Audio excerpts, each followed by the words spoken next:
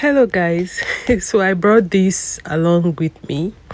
That's our king of bitters, and this is um, a ginger extract. So I brought it along with me on this trip because I wanted to have something that will help rev up my metabolism